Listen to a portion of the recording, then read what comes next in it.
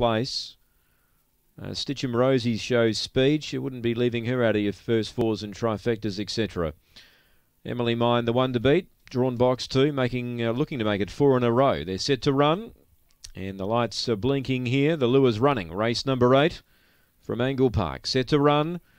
Away, Emily Mine away fair, then bumped a little there, and Stitchem Rosie and Deschwa won the start. Favour end of the rail, third Emily Mine, and tries to poke through underneath the leading pair and just couldn't quite get through. Fourth, Santano, a gap away in the field to Shimmer Deal. Uh, Bacalia's Fly, Electra Stroll, and Octane Sadie. Off the back, the fave got through now. Emily Mine took the lead. Stitchem Rosie's coming again, though. A length to Deschwa. Stitchem Rosie ran to the lead from Emily Mine. Stitchem Rosie. One by a length to Emily Mine. Third, Deschwa. Fourth, I'm not sure. Shimmer Deal or Bacalia's Flyer. Santano in that group.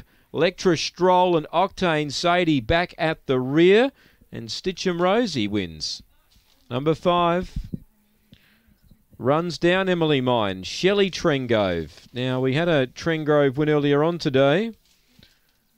Stitchem Quick for Clint Trengove. And this one's for Shelley. Uh, Stitchem Rosie, $28 on the Ubet tote. Has responded to the challenge of Emily Mine and has got off the canvas to run it down. Number five, two second Emily Mine, and one third Deschwa. Four gets fourth Shimmer Deal. 30 and 59, 455 early, 13.24 on the way home.